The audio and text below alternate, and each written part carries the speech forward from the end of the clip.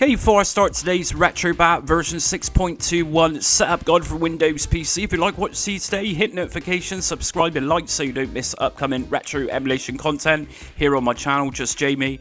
That means you'll get notified every time I release a new video, plus it helps out my channel too. So today we're looking at RetroBat and the latest version of this is version 6.2.1. Now this is for Windows PC and we're going to do this as quickly as possible just to get you a taste of what RetroBat's got to offer offer. So just bear in mind, I've done lots of different setup guides for RetroBat over the past year, year and a half. So first thing what we're going to do is go over to the RetroBat website. We're going to go to download, download now. And we're going to go to download now and we're going to just go to, just take me to the downloads. From here, you can download RetroBat version 6.2.1 stable. Just download that and that weighs in it one gigabyte. Once you've done that, consider signing up for free with Screen Scraper. Just sign up with it and we're going to use the details, the password and the username once you're in RetroBat itself. And this is going to get you some artwork.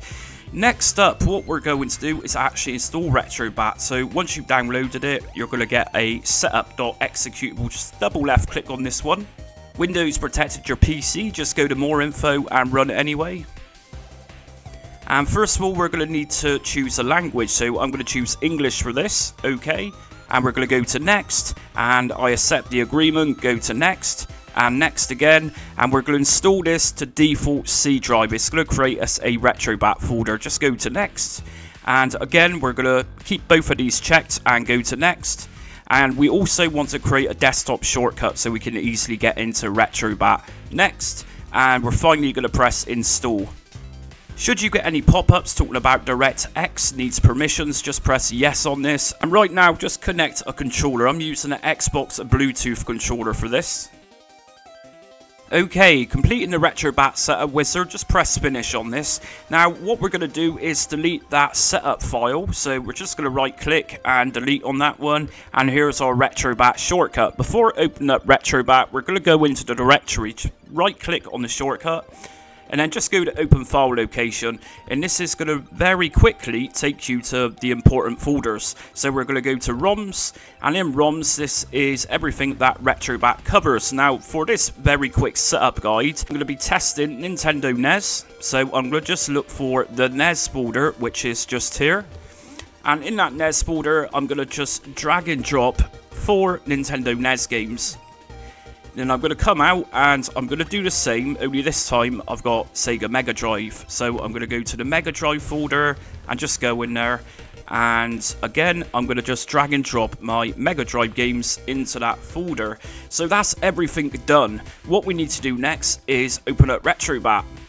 Okay, welcome to RetroBat. So first things first, this is the front end itself. Let's go into Mega Drive. We got no artwork for this yet.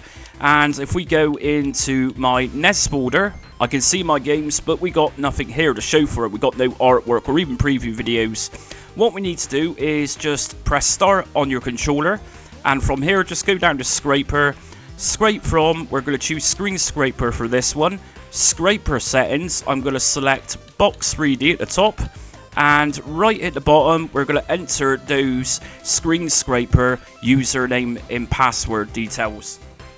Once I put those details in, I'm going to go to back, systems included, we're going to choose Nintendo NES for this or Nintendo Entertainment System and go down to Mega Drive and also check this. Go to back and scrape now.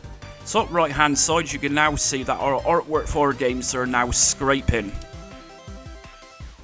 And once that's done, what we're going to do is do what it says at the top center, update game list to apply changes. So we're going to press start, which brings up main menu, game settings, update game list, and yes.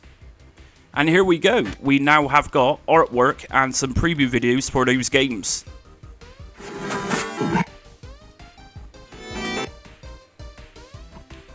Now we're going to just test one of these. If I go into Nintendo NES, I'm going to choose Gradius. If I open this up, and here we go, complete with what's called decorations on the side.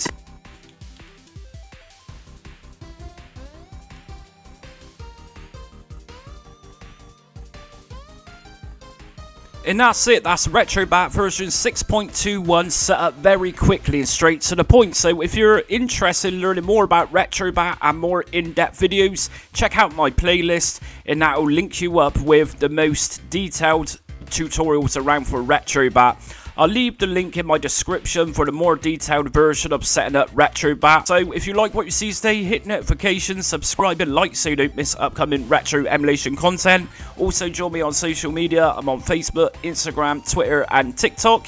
But until next time, stay retro.